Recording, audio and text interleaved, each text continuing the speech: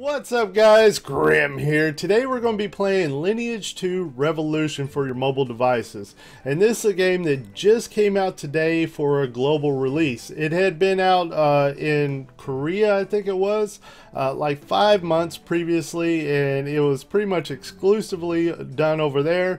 And it had so much success for the company Netmarble that they decided to do a global release of it. And they have been putting tons of promotion behind this. And uh, whenever I watch like gaming conventions and all that, and I see Swifty and all them up on stage doing a 30 versus 30 uh, PvP, absolute just brawl with other streamers and stuff for Lineage 2, I know that they're a, putting tons of money behind this game, and B, they've gotten my uh, attention and I want to try it. So it was released about 2 a.m. this morning, and naturally I didn't get up at that time. But once it, uh, once I did get up about 7 or 8 in the morning, I went ahead and uh, started playing, and I've been playing it ever since. And it is a very fun game so far. Alright, so what I'm wanting to accomplish with this video is I want to give you guys an overview of the game. Uh, hopefully not too detailed. I've already tried to record this video once and it ended up being about 50 minutes long, so we're going to try to avoid that this time. Uh, the second thing is to give you guys a little bit of tips and tricks that I've learned from reading guides as well as playing today, and hopefully I can help you guys get a good start to the game as well. All right, so the server that I'm on is called Windawood 01, and uh, let's go ahead and find my character. There you have it, the Grim Meister. Grim, I have my actual name of Grim. Uh, somebody always snags up this name. I never get it normally.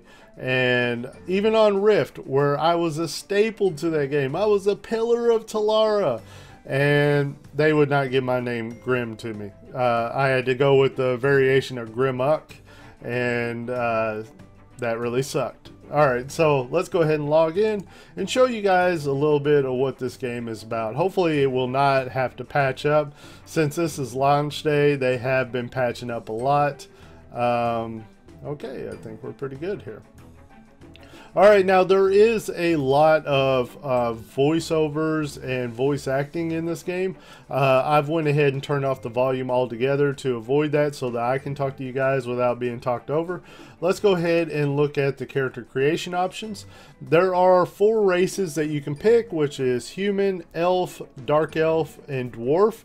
Uh, now, I'm sorry if the screen is flickering once in a while. I have no idea why it's doing that. But uh, the human is naturally the uh, balanced of all the races. That's how it is on almost every game. It can do almost everything and uh, isn't really a master of any of them.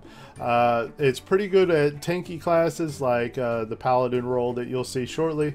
Uh, but overall, it's just the in-between do it all, jack of all trades that most people is going to be picking. So let's go ahead and click on it and see uh, a little cinematic here. There you go, the sword wielding, uh, shield wielding human there. Alright, so the elf is going to be the nimble character here, as you can see. And mind you, these races are gender locked, which is a pretty normal thing with uh, Asian MMOs and stuff like that. And this game is an MMO for your phone. Uh, it's a way for them to uh, be able to upgrade the game and uh, update the game as well as uh, add more features all the time without too much uh, process going into little stuff like that uh, what they consider little stuff uh, take for instance the human it's a it's a male character well, they would like to release stuff for that male character and have all these new features for the class without having to do everything twice and, you know, making it for the opposite gender of the same race. And so these are gender locked. It's a normal thing with Asian uh, games, uh, and that's it's that way for this one. All right, so we have human, elf, and the elf is really good with uh, bows and stuff like that. We have the dark elf here.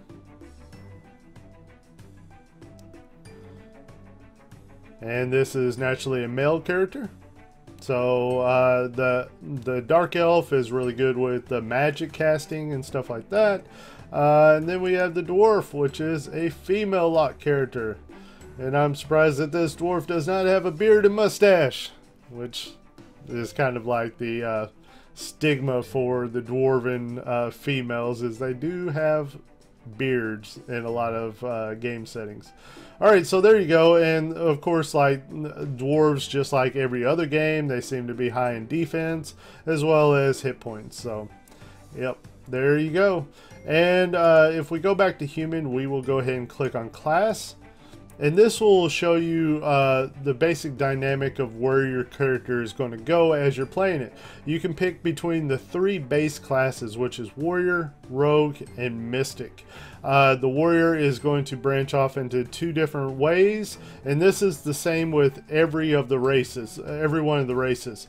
Uh, they have different names for their particular uh, like subclasses here but it's round about the same stuff. Like Warrior, you have the tanky Paladin, which is considered one of the strongest classes in the uh, Korean version, so a lot of people are picking this right now. Um, uh, however, it can be nerfed, it can be buffed. Uh, you never know where it's going to go, so don't don't worry about picking which one is strongest. All right, then you have the Warlord, which is the, uh, as you can see, they show the dual wielding on it, uh, but it's uh, mainly like the DPS version of Warrior. You have the Treasure Hunter Rogue, which is the DPS uh, dagger wielding melee that is the staple in a lot of games. Uh, then you have Hawkeye, which is the uh, ranged bow user. Uh, the Mystics down here. Now, this is a uh, class that is very, very good to pick because in all MMOs, you kind of need uh, a little bit of every class. And everybody's picking warrior. It's just normal. Uh, people pick warrior in almost every game. So uh, that's another reason why I make videos on warriors is because it's relatable to so many people. Well, the mystic class is one that very few people are picking and it's one of the most needed. So whenever you have a DPS sorcerer like this, there's hardly anybody playing this class, so they are just begging for sorcerers. Uh, if you pick uh, the Mystic class and go with the Magic Caster, it'll be very, very good for you as far as uh, being able to get groups and all that. And of course, the Bishop here is the healer, and there's always a shortage of healers in every MMO ever, it seems.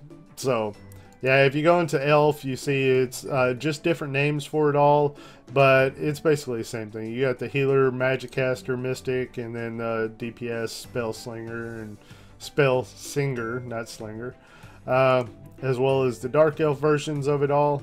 Um, I, have been told that the Abyss Walker is very strong in the Korean version, so um, and there you go for the dwarf versions of them. Alright, so let's go ahead and go back and give you guys the rundown of the game. Uh, try to do it as fast as possible. Alright, let's play. Um, to uh, give a little bit of an initial uh, thought on this game is there's lots of stuff to do, but it is an Asian MMO. Uh, and Asian MMOs are usually are grindy. Uh, that is kind of the way with this game. Uh, there is a little bit of pay to win aspect to it, so uh, that that should uh, give you guys a little bit of the downsides of this game uh, right off the bat. Uh, take for instance, if we go to the shop here, you will see there will be tons and tons of stuff to spend real life money on. and all of this stuff is there to give you an advantage.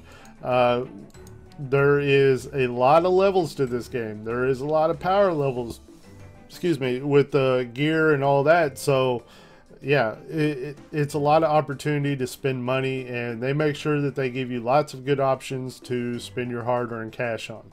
Uh, so, whenever it comes to the three types of players, you got the uh, free player, you got the uh, casual payer, which is going to buy uh, certain things every here and there.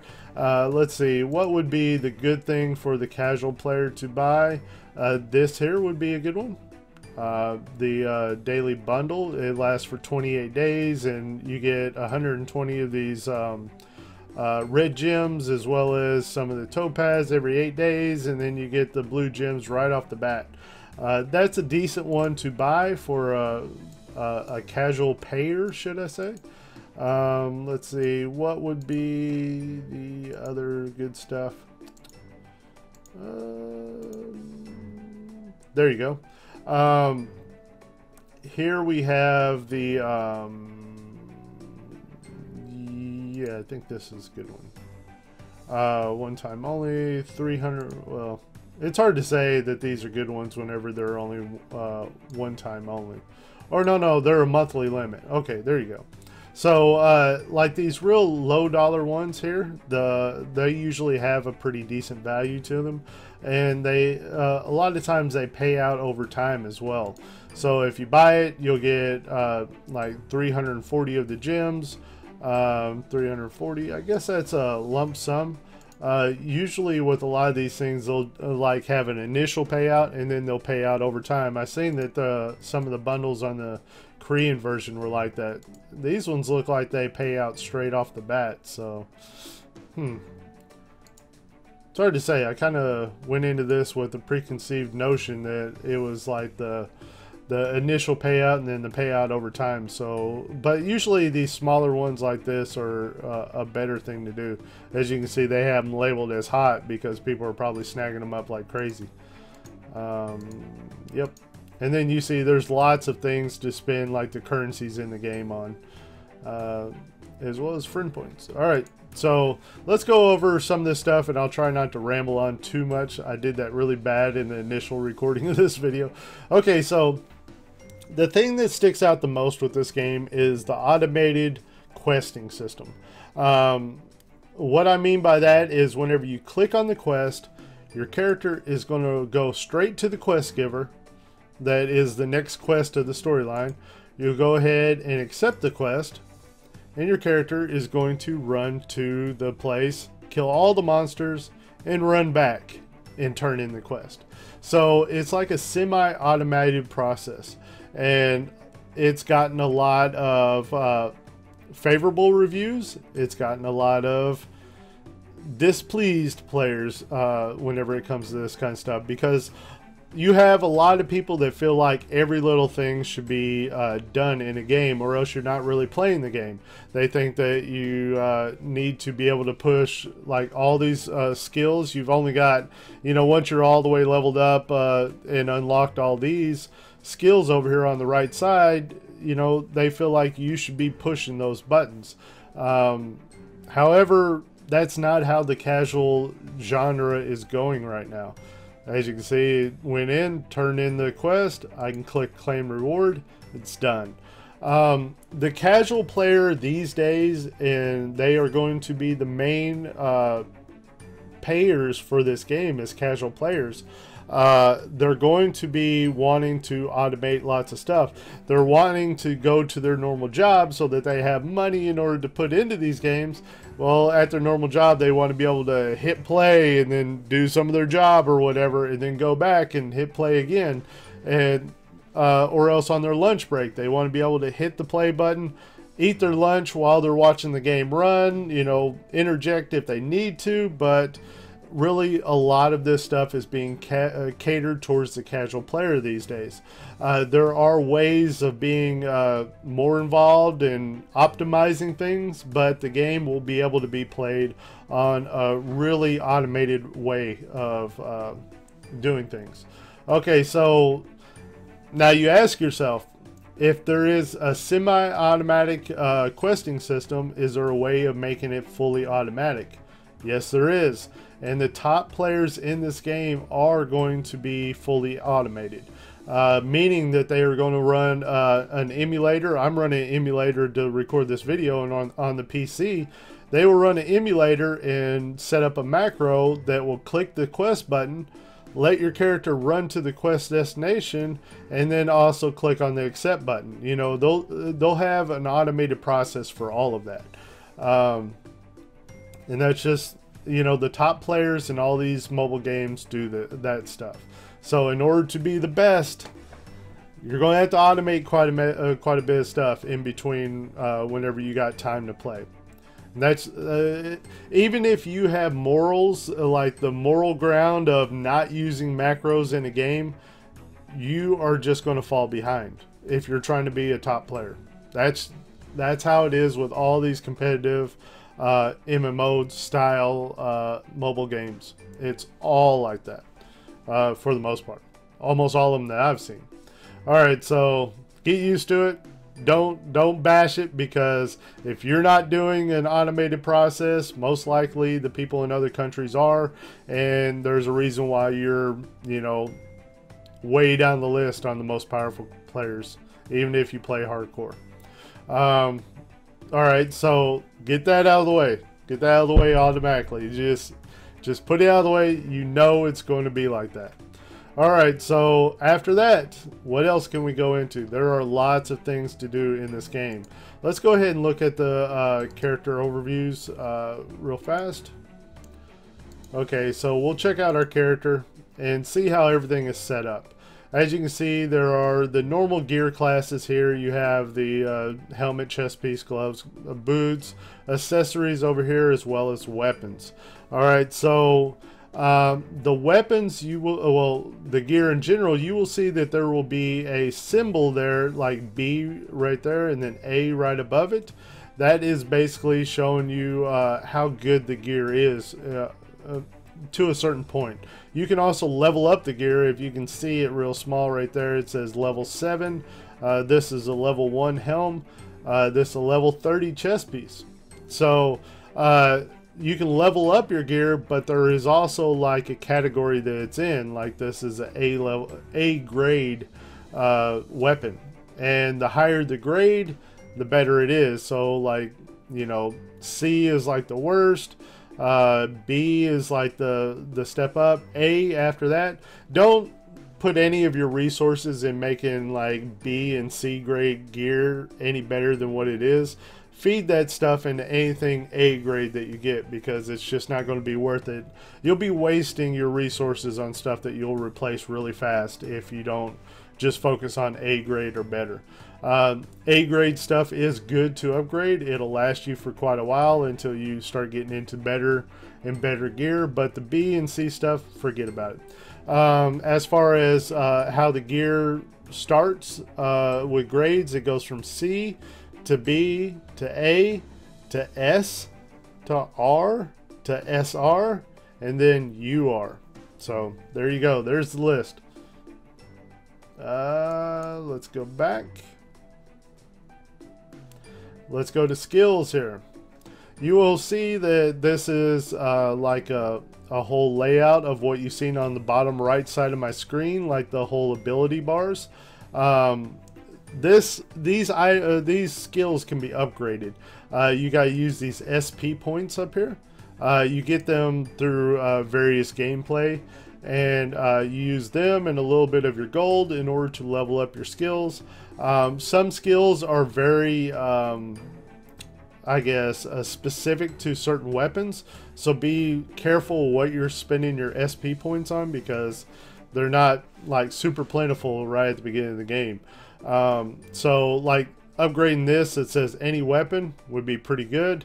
Uh, if I upgrade something that just said like sword and shield and I'm using a sword and shield right now, it might not be that great to upgrade that skill if I'm going to switch to a spear pretty soon and that power up isn't going to help me at all. It'll be wasted.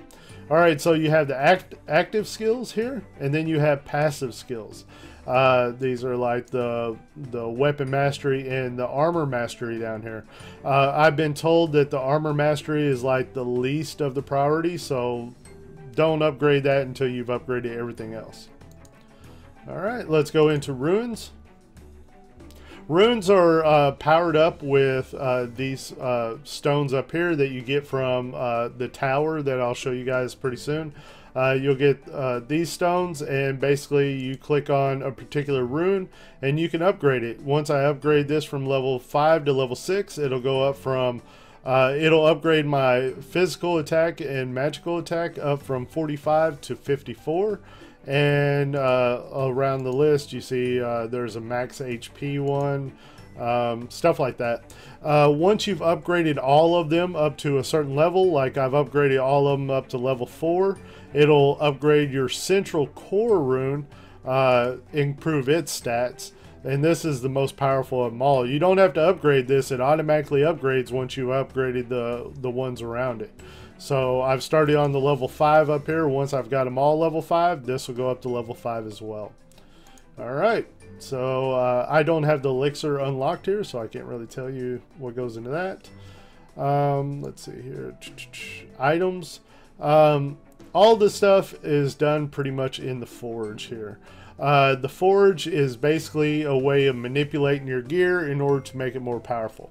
All right, so we have the leveling up process here. If I take my uh, level, uh, my grade A item here that I think is a good item to upgrade, I can click on that and I can feed the other items into it. And if I click on them, you will see the, the level bar will go up and it'll put it at level 9 instead of level 7. That naturally will make that gear uh, much better. Um, and you can do that with all your gear, like even the armor and stuff like that. Then we have the upgrading process. Uh, once you have a particular item up to the max level, which is level 30, you can click on it and then spend some resources in order to upgrade it from level like grade B to grade A or whatever. So if I spent those, I can move it up to grade A. Uh, I'm not going to do that, but uh, that way that you guys can see what it is. Uh, just as a, a, side note, I have been told that a particular gear, if it has a blue background, uh, that's a really good piece of gear and it's worth uh, upgrading even if it's like a B grade item. You know, go ahead and upgrade it to A and so far. So, uh, so forth. so far and so forth. Is that how you say um, and then let's see here. Oh, another thing is, is if you look at this piece of gear right here, this helmet, you will see a gem in the bottom right of it. I'm told that if you sell this particular item instead of getting gold for it, you'll get these blue gems. And as you can see, I've got zero of the blue gems, which uh, it's a premium currency. So it's something that it's highly sought after. So selling off this piece of gear instead of feeding it into like another piece of gear would probably be the best way to do it. You know, it's best to sell the ones with the gems on them so you can get that premium currency. A little bit of tips along the way here. All right, so combining. Uh, some of this knowledge that I'm going to give you guys is um, uh, from another game called Evil Bane that Netmarble also makes. They have much of the same processes in that game, so uh, some of this will be a little bit of guessing how it works in Evil Bane, uh, assuming that it works pretty much the same in this game. Um, the combining process is something to where instead of spending that really valuable resource that I showed you guys, like in order to bring your gear from grade B up to grade A, the the like the gold bricks or whatever it was. Uh, instead of using that really valuable resource, uh, instead you can level up two pieces of gear, like two chest pieces up to level 30. Say I put two grade B uh, chest pieces in here and I've got them both max level at level 30.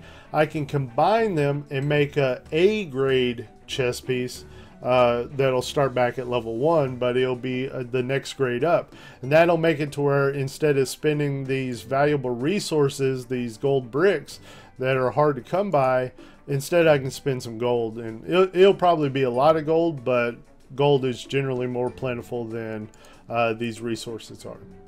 Alright, so the next one is Enhance. As you can tell, it's pretty much the same kind of stuff uh, that is in every other game whenever it comes to enhancing. You you click the item, you click the material, and then it'll upgrade like its enhancement level. Um, which, let's see here.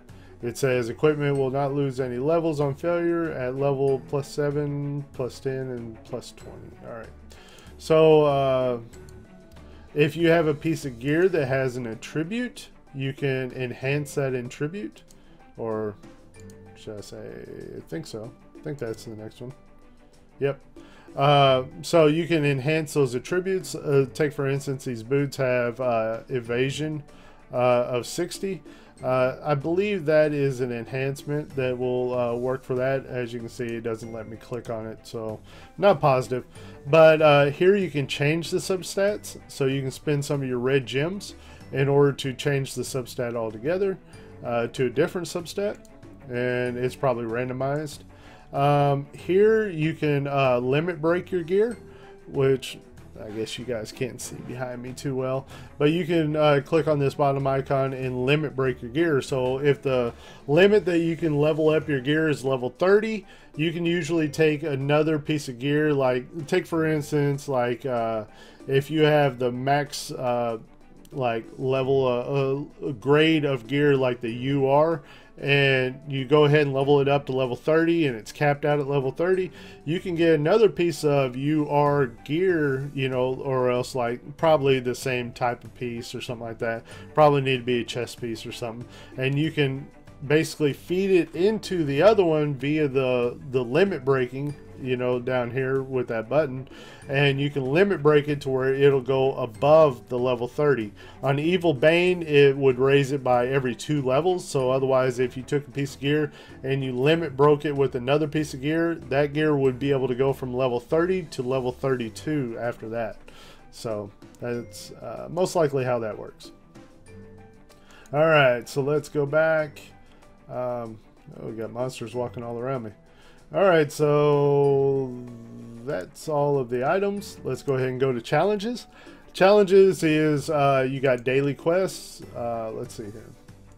You got main quests that you can take on, like there's a storyline quest, there's uh, side quests, and there's also daily quests that you can click. As you can see, uh, I've accepted these quests and I can do them. Uh, however, if I don't like if I don't accomplish these things, like using uh, this one here is R grade uh, quest, it says use 600 or more of the soul uh, shots. I'll explain soul shots in, uh, shortly. But um, if I don't get this done, these quests will auto-complete after a certain amount of time. Now, naturally, the, the more difficult the quest is, the longer it takes to auto-complete, or else you can even uh, complete it by spending some gold and getting it done automatically. Once you've uh, accomplished some of these, say I claim that one and then I start another quest, uh, I accomplished so many of them, you can get the, the quest rewards as you can see at the bottom of my screen. I can click on that and it'll send that quest reward to my mailbox. And you can do up to 12 of these and get the max uh, reward right there. And then you got weekly quests. These quests, uh, I believe they're limited to um, uh, 60 or uh, actually 70, isn't it? Yeah, I think it's 70 right there. Um, but you can do 10 of them a day. So uh, you do 10 a day and uh, can do up to 70. I, I previously read that it was up to 60. So it might be might be different on the global version here. So it might be 70. Uh, but I've done all of them, and it's it's an automated quest. Once again, you can just click on go to, and it'll go accomplish the quest for you. Um, you gotta do, you know, 10 of them though. All right, so uh, daily quests, uh, daily rewards. These are just different activities that you can do throughout the day, and you'll get a reward just for doing them. As you can see, boom, boom. Uh, free rewards. And also I get some gems down here. 30 gems. Nice. Alright, so uh, Monster Codex, that'll probably... Um, I don't even want to speculate on it. I'm not real sure what that is. Uh, achievements is much like the daily activities, but usually achievements can't be completed every single day. Once you achieve uh, something, it'll give you that one-time reward. All right, then you have titles, and these titles uh, go into all different kinds of things. I've got several titles already, and I'm just now brand new to the game. As you can see, I've got a lot of high grade uh, titles. I got normal titles. Um, yeah, just different ones. Uh, the initial Pioneer one that I have here was given because I pre-registered for the game. Uh, and as you can see, the titles give you some stats. So that's really nice. Imagine the legendary ones are awesome. Yeah, that'd be great to have. I don't have those. Alright, so let's see here. That's the challenges. Let's go to the events. Uh, events are pretty much uh, you know, just almost like achievements in a way. You're basically just uh, take for instance, you go on this journey event and it'll say doing different things like uh, level up a skill one time, and it'll give you the reward for that step, and it'll go to the next steps, and then you go to the next category, next category, and so on and so forth. There you go, so on and so forth. That's how you say it. All right, so the login, rewards, you claim one every single day, and you get the rewards for just for logging in for the day. Um, let's see, events. Uh, yeah, they put on like different events that you can get and just get rewards if you collect these items from quests and stuff like that. Uh, pretty straightforward. Nothing really to explain there. Alright, so then you have the shop, which you can spend like uh, different currencies on, as well as real life money. You got your settings. Okay, so down here we have the uh, real activities. We got a daily dungeon that if you do the daily dungeon, you get uh, whatever premium reward is given each day. Uh, daily dungeons in Evilbane were very, very important, and they are very important here as well. Uh, you want to make sure that you do your daily dungeon. It wouldn't even be uh, like terrible for people to spend uh, the uh, recharge stone, uh, the red stones, in order to recharge it, so they can do them again. Naturally, you don't really want to recharge on if you're not able to do like the most difficult ones because they give the highest rewards. If you're only able to do like easy or normal mode, they're lower rewards, so don't reset those even if you're wanting to. And the, uh, it's different rewards every single day and well worth doing. Make sure you do your dailies every day. Then you got your Tower of Insolence. And this is uh, like many other games have a tower event to where usually every day you can go into a tower and defeat different uh, creatures and stuff. Um, let's go ahead and do one real fast. Uh, this will lengthen the video a little bit, but it won't be too bad, I don't think.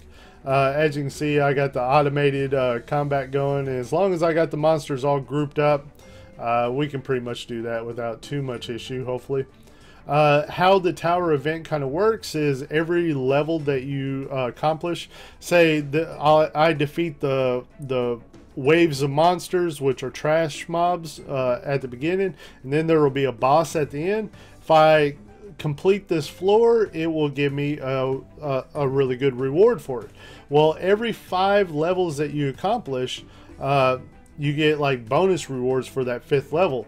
Well, the fifth level is always like a little bit different. It basically takes the bosses of all the previous levels and you got to fight them all one after another. And then the fifth boss that you fight is going to be a new boss that you haven't fought before. So that's really cool. As you can see, the boss is about to appear. Has a really cool uh, animation there. It looks like a kobold. Uh, yeah, that's it's pretty cool. Um, let's go ahead and uh, explain a little bit of the process here. Uh, if you can see behind me, you will see there is like a joystick. And uh, it's really easy to play this game on your mobile devices using like a thumb on one side and then pushing abilities on with your other thumb. Uh, as you can see the ability bar over here on the right side.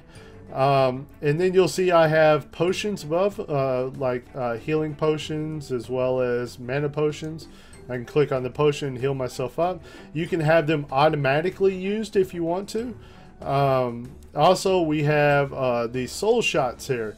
If I go ahead and click on automated use of this, it'll every time I hit this monster, it'll use one of them and like do a shotgun to him. And I'm not real sure exactly like what the soul shots uh, are really doing. I think it's just uh, increased damage. So there's a little bit of speculation there. Um, but yeah, I don't like turning on. I, I don't see the point of it because almost everything I can beat usually pretty easy. So,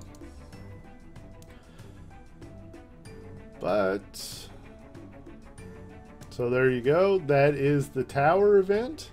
And as you can see, it gives me these rune fragments for powering up my runes, which are very, very important. Uh, now, I haven't unlocked a lot of this other stuff, so I can't really tell you what it is, but as, as you can see, there is just tons of stuff to do. You got elite dungeons, uh, uh, Temple Guardian, Adenavort, uh, Vault, uh, Trials of Experience, just tons and tons of stuff to do. Um, and I haven't unlocked all of it. It'd be really nice to get to it eventually.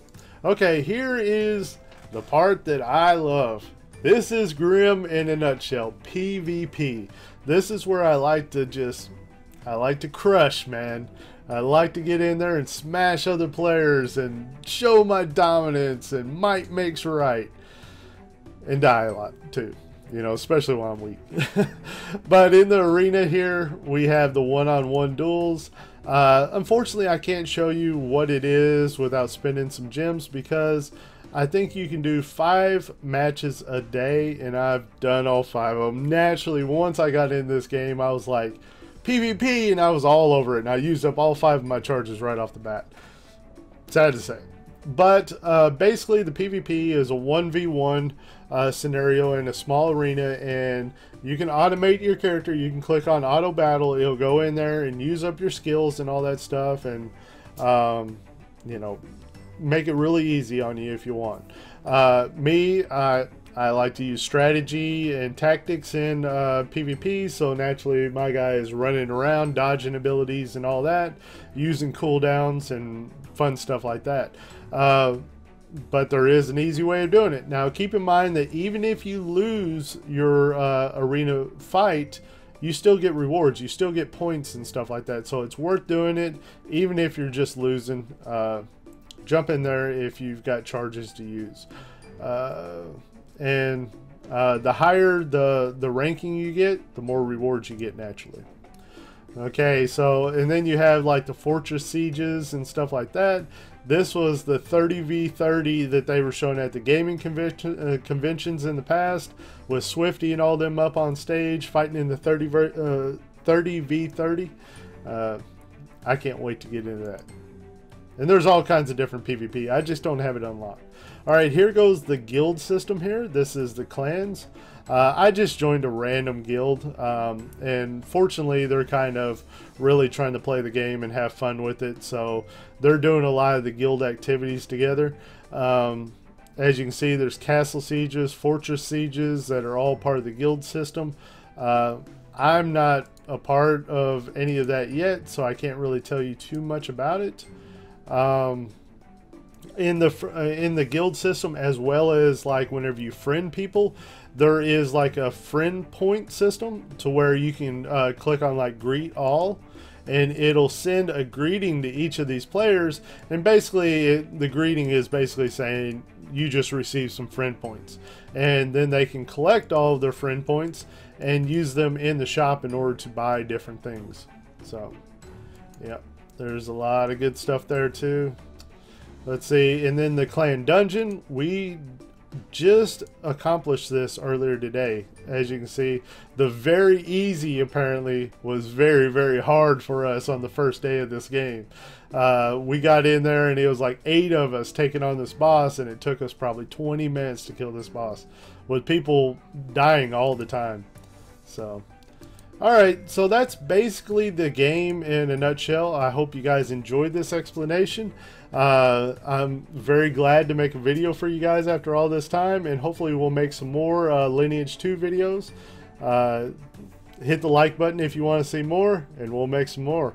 Alright guys, as usual, my name is Grim, and I'll see you next time.